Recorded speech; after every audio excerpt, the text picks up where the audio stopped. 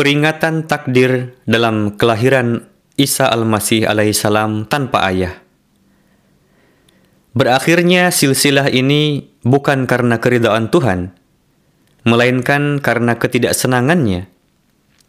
Bahkan, kelahiran Hadrat Isa Al-Masih alaihissalam sendiri berfungsi sebagai tanda, yakni beliau dilahirkan tanpa ayah.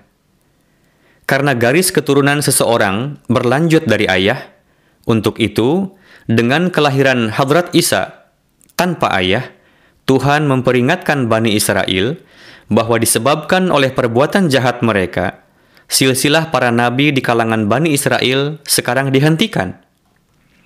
Ada dua hal yang Anda sendiri mengakuinya. Pertama, Tuhan menjadikan beliau dilahirkan tanpa ayah.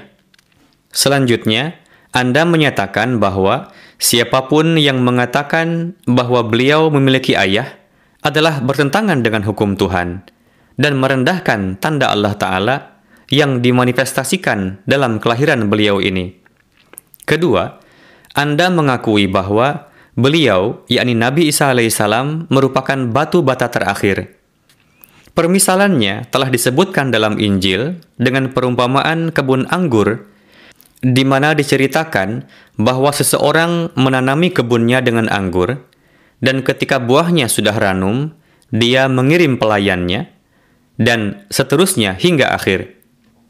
Perumpamaan ini dengan jelas membuktikan bahwa Allah tidak memandang orang Yahudi dengan pandangan kasih sayang.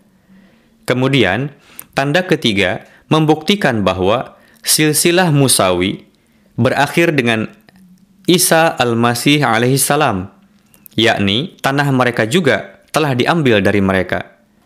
Oleh karena itu, kelahiran al-Masih alaihissalam tanpa seorang ayah seolah-olah menjadi tiang tanda dari sebuah keluarga yang sebelumnya satu, yang di dalamnya para nabi terus muncul sepanjang zaman, Tuhan telah memunculkan cabang kedua dan meletakkan pondasi baru di kalangan Bani Ismail.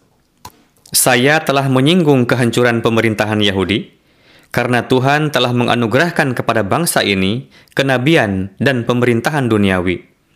Namun, dengan menjadikan Yesus dilahirkan tanpa ayah, Tuhan menyatakan pada intinya bahwa disebabkan oleh tindakan jahat orang-orang Yahudi dan karena kelancangan penolakan mereka terhadap para nabi dan permusuhan terhadap para utusan Tuhan telah sampai pada derajat yang sedemikian rupa sehingga alih-alih mendapatkan nikmat ilahi mereka telah dimurkai Tuhan sebagai tanda bahwa sekarang keluarga kenabian di kalangan mereka akan berakhir. Mereka diberi tanda bahwa tidak seorang pun dari Bani Israel yang akan menjadi ayah dari Hadrat Isa Al-Masih alaihi salam. Dan dengan menjadikan beliau alaihi salam lahir tanpa ayah, Allah mengisyarahkan bahwa di masa yang akan datang, kenabian tidak akan berlanjut di antara Bani Israel.